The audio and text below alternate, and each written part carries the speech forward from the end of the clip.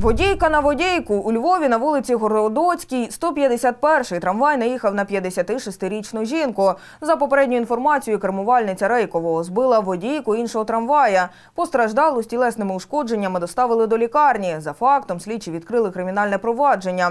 Тим часом у Львів електротрансі призначили службове розслідування за фактом травмування водія. Однак із версій нещасний випадок, що трапився ймовірно в процесі з'єднання трамвайних вагонів.